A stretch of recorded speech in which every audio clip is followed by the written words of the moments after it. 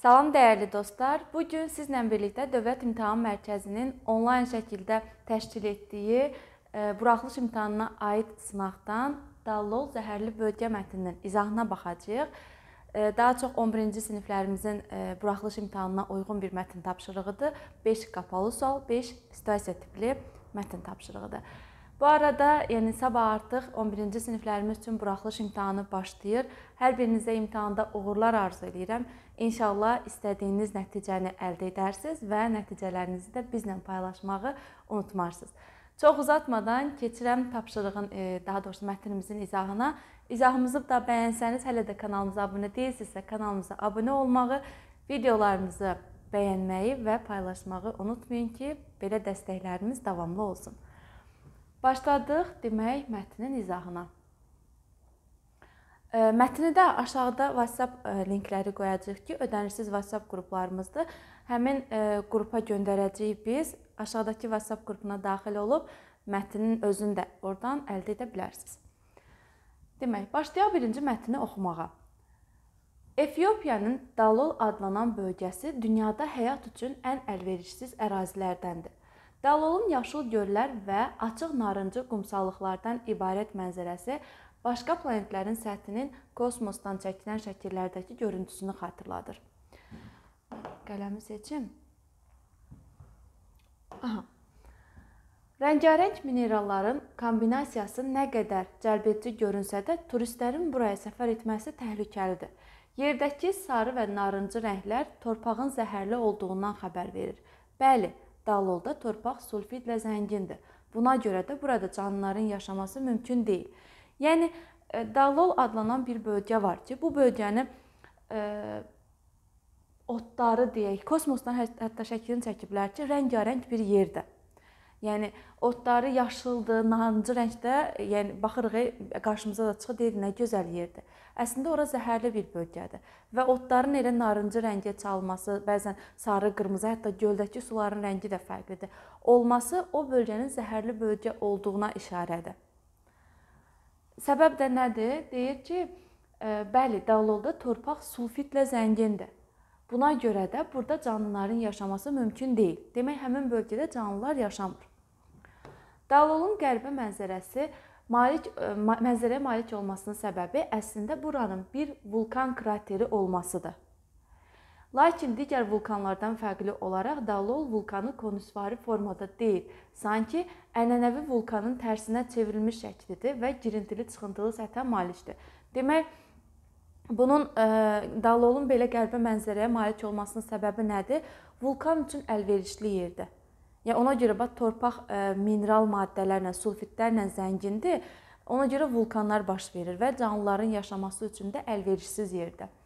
Və deyir vulkanlar ənənəvi formada, yəni konus şəkilli deyil. Konus şəkilli bilirsiniz də kosanın papağı kimi belə iti ucluqlu konus şəkilli deyil, onun tərsinə çevrilmiş formadadır.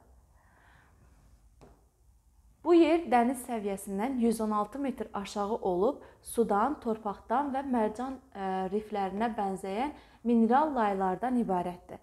Bütün bunların yaranmasına səbəb yerin təxminən 4 kilometr dərinliyindəki maqma təbəqəsidir.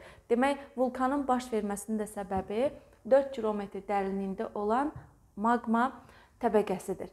Daloldakı qəribə mənzərələrə Bənövşəyi və Sarı gölləri də aid etmək olar.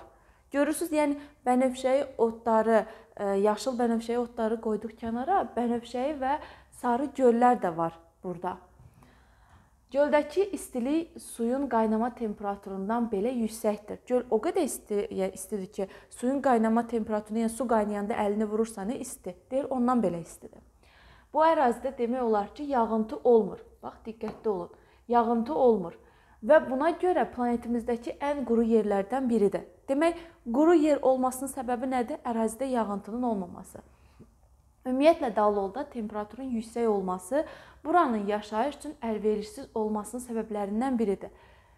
E, indi sizə sual versələr ki, niyə görə bura ən quru yerdir? Bir yağıntı olmur, iki də e, demə ən quru yerlərdən biridir və temperatur yüksəkdir. Burada yadda saxlayın. Buradakı iqlimin orta temperaturu dünyanın başqa yerlərindən daha yüksək, yəni müsbət 34 dərəcə Selsidir. Müqayisə üçün Amerikada bu göstərici müsbət 12 dərəcə Selsidir. Yəni temperaturu yüksək olan bir ərazidir. Temperatur nə qədərdir? Müsbət 34 dərəcə Selsidir. Həm temperaturu yüksəkdir, həm yağıntı olmur, həm də quru bir yerdə. Baxaq. Çox qəribədir ki, bir zaman insanlar bu əlverişsiz ərazidə məskunlaşmışlar. Demək, əvvəllər burada insanlar məskunlaşıblar. İndi insanlar üçün əlverişsiz yerdir. Sonralar kiçik kənd e, boşaldılmış və Dallol tərk edilmiş bir məkana çevrilmişdi. Əlverişsiz şəraitə baxmayaraq Dallola yaxın ərazilərdə insanlar hələ də yaşamaqdadılar. Demək, o bölgədə insan yaşamasa da, ona yaxın ərazidə insanlar hələ yaşayırlar. Yerli əhali olan Afar xalqı duz ticarəti ilə məşğul olur. Göllərdən çıxardıqları duzu burada yeganə ev heyvanı olan dəvə ilə digər ərazilərə daşıyırlar. Demək, Dalolun e, yaxınlığında insanlar hələ yaşayır və onlar nə ilə məşğul olur? Duz ticarəti ilə məşğul olurlar ki, bunu da nə ilə daşıyırlar? E, yeganə ev heyvanı dəvədir orada. Dəvə ilə daşıyırlar. Çünki bilirsiniz də quraqlığa davamlı heyvanlardan ən davamlısı hansıdır? Quru, quruya davamlı dəvə. Məs ona görə elə yəqin ki, dəvədən istifadə edirlər. 2 kiloqram ağırlıqdakı duz parçalarını çıxarmaq üçün ənənəvi üsullardan istifadə edilir. Baxın, duz ticarəti ilə məşğul olurlar. E, yəni parça-parça orada duzlar çıxardırlar və bunun üçün də ənənəvi üsuldan istifadə edilir.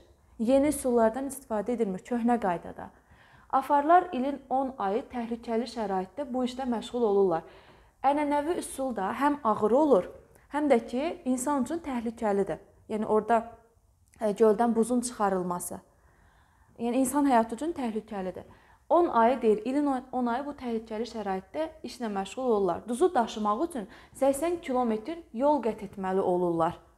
Hətta yəni daşınması belə çətindir. 80 kilometr yol qət edirlər.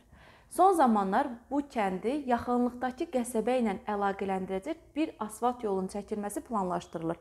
Demək, planda nə var? Kəndi qəsəbə ilə əlaqələndirmək. Bu onların planıdır.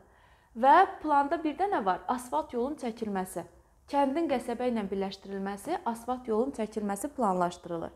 Mütəxəssislər təxmin edirlər ki, bu duz istehsalında ənənəvi üsulların yenilənməsi, e, demək, yenilənməsinə və afarların afarların ağır əməyinin bir qədər yüngülləşməsinə gətirib çıxaracaq.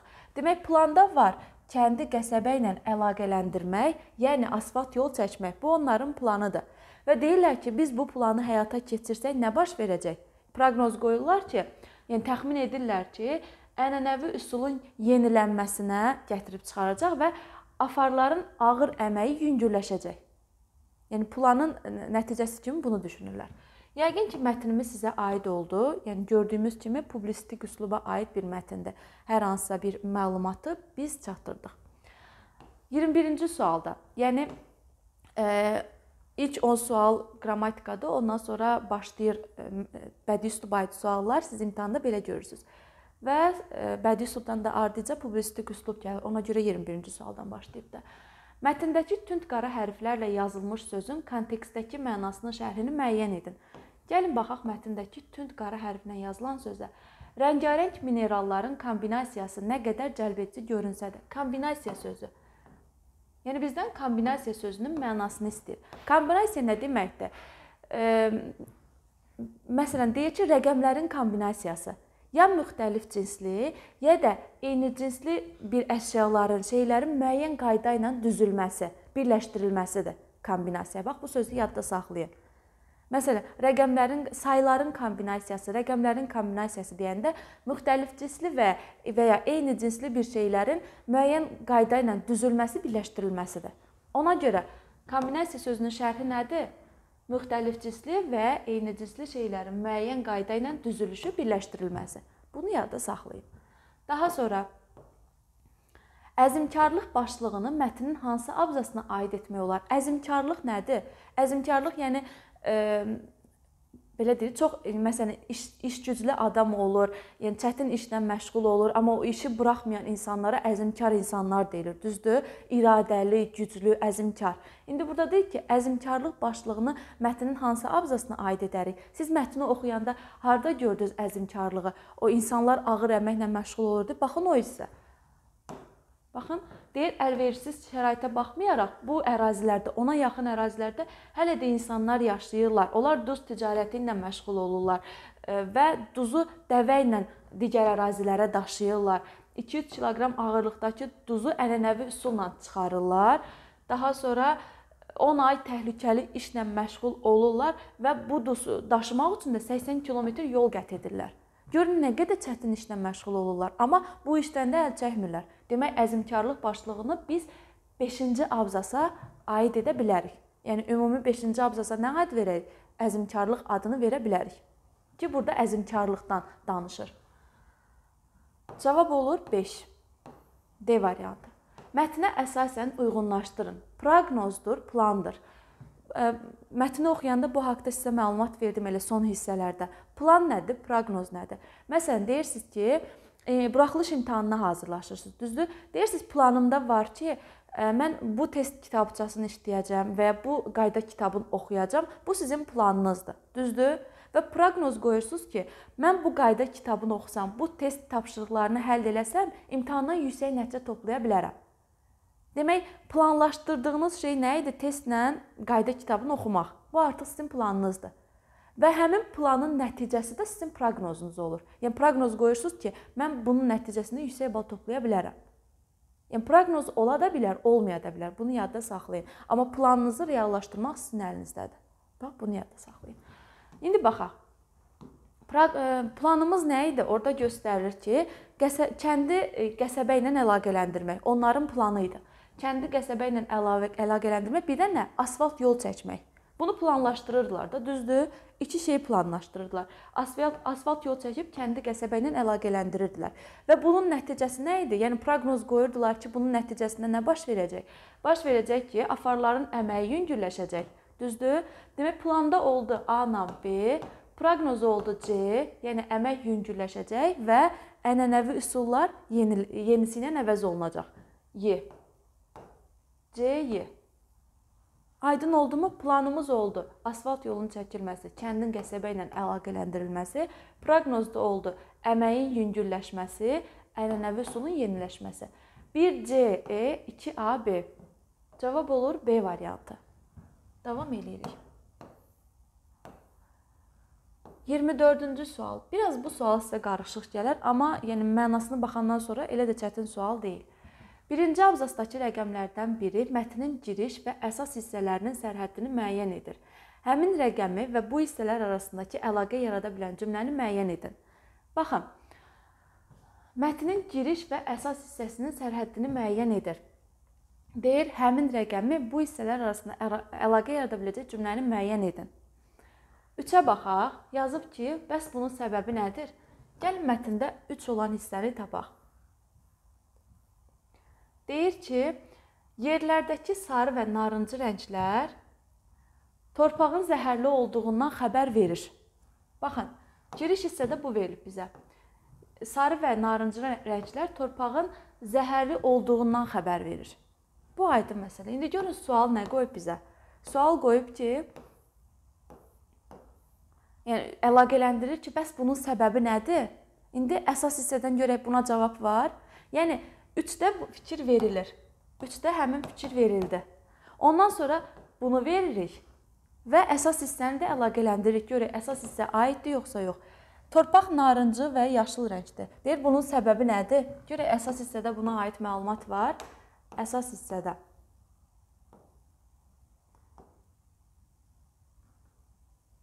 Deyir ki, ə, baxın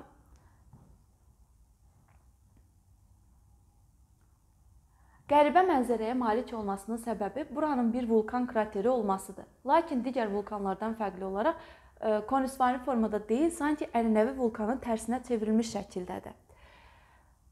Və girintili çıxıntılı səthə malikdir. Bu yer dəniz səviyyəsindən 116 metr aşağıda olub, sudan, torpaqdan və mərcan riflərinə bənzəyən mineral laylardan ibarətdir. Bütün bunların yaranmasına səbəb yerin təxminən 4 km dərinliyində olan maqma təbəqəsidir hətta deyir, bənövşəyi və sarı göllər də buna görədir. Demək, vulkan əslində belə konusvari şəkildə olur, amma deyir bu əksinə, tərs, yəni tərs şəkildə olduğuna görə torpağı zədələyir və mineral maddələr orada qarışır. 4 kilometr dərinliyində olan maqmanın olması təbii ki, orada torpaqdan çıxan bitkini də zəhərli eləyəcək, zərərli eləyəcək, rəngini də dəyişəcək. Demək, həqiqətən də bunun səbəbi bax budur. Torpağın, otların o rəngdə olmasının səbəbi nədir? Bu əsas hissədə verilən hissə, yəni yazılan bu yazılar. Aydın oldumu? Həqiqətən də üçü biz aid eləyə bilərik. Yerdəki sarı və narıncı rənglər bunun səbəbidir. Yəni alt üst olur da torpaq, vulkan tərsinə çevrilir. Təsəvvür edin. Demək 3 aid ola bilər. İndi gəlin görək digərləri niyə aid olmur. Cavabımız 3-dür.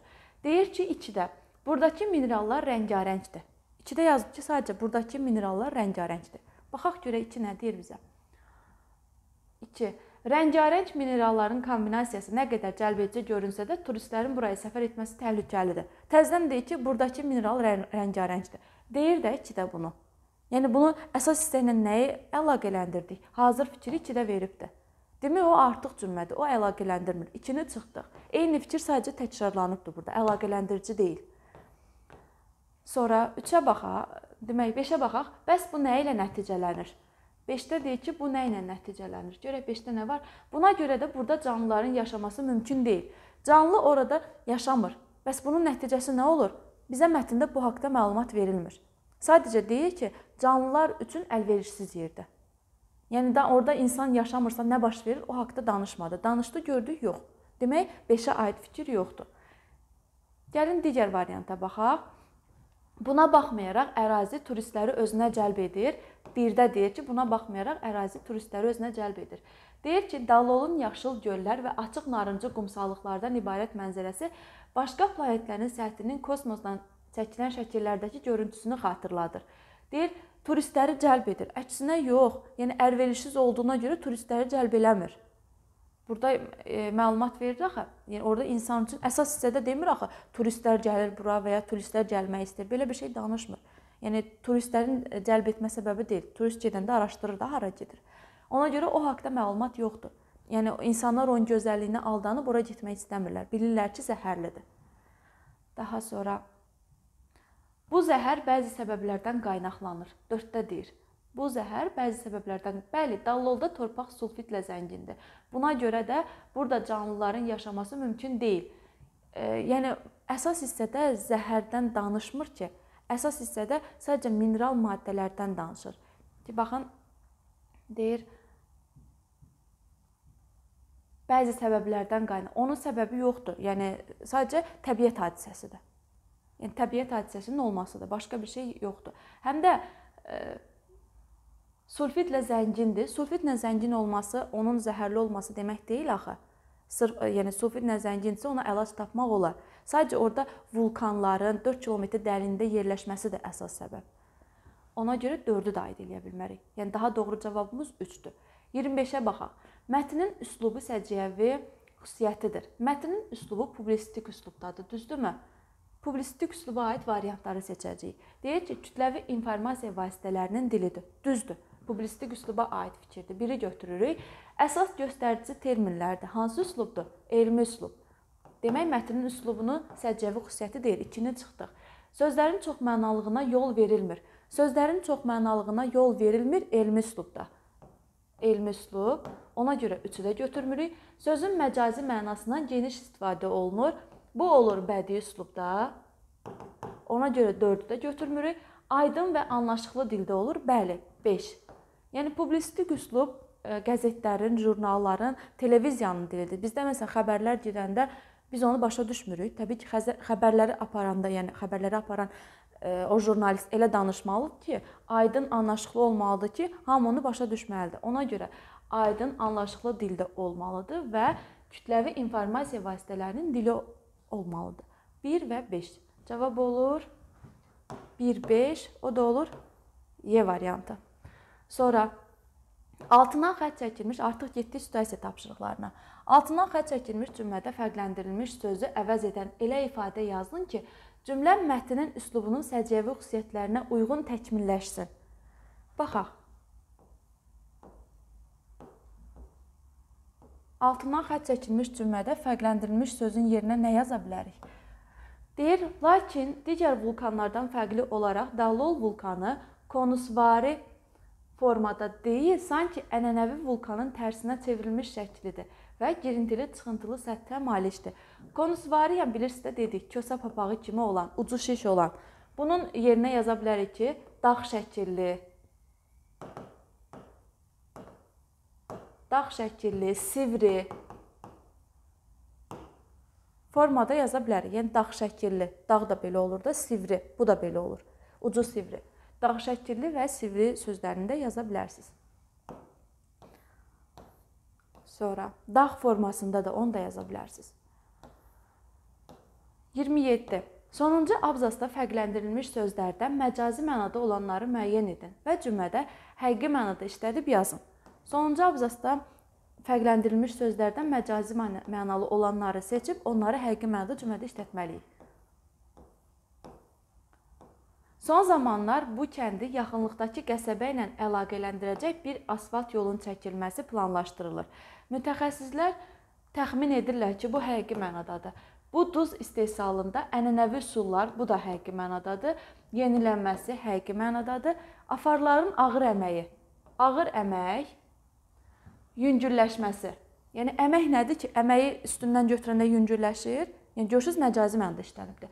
Ağır əmək və yüngülləşmə. Demək, ağır və yüngül yüngülləşməsi sözü burada məcazi mənada işlənib. Ağır bir də yüngülləşmə. Sözlər nədir? Ağır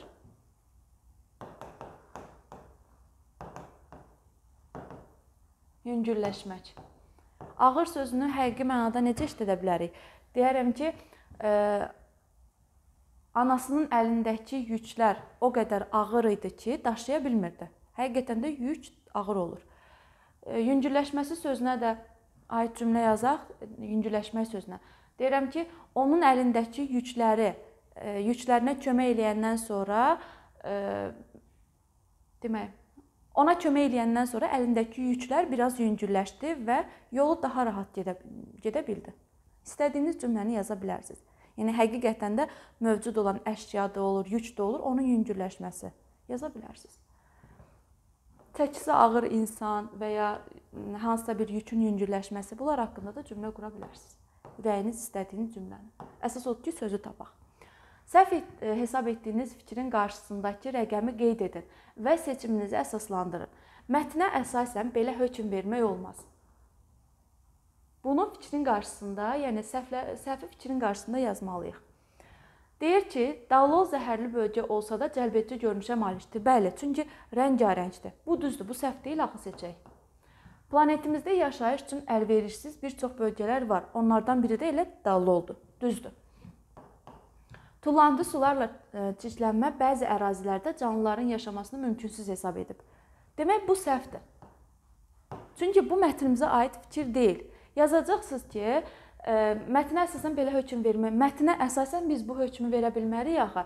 Yəni tullantı sularla çirklənmə hesabına o ərazidə yaşayış yoxdur. Bu ümumiyyətlə ərazi yaşayış üçün əlverişsizdir. Ona görə biri seçəcəksiniz və deyir ki, seçiminizi əsaslandırın. Yazacaqsınız ki, Dallol ə, canlıların yaşayışı üçün əlverişsiz yerdir. Buna səbəb, ə, yəni ekoloji çirklənmə deyil, yəni tullantılar deyil. Buna səbəb təbii hadisələrdir. Təbii qanunlardır, təbiətin qanunları, təbii hadisədir.